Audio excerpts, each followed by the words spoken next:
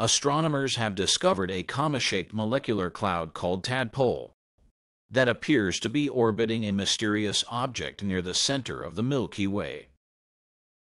They suspect that the object is an intermediate mass black hole, a missing link between small and supermassive black holes. If confirmed, it would be the fifth candidate intermediate black hole found near the galactic center. These could help astronomers understand how supermassive black holes at the centers of galaxies form and grow to such colossal size.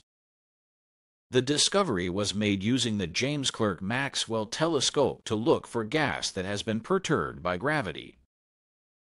The team plans to conduct further observations to confirm their suspicions about the tadpole.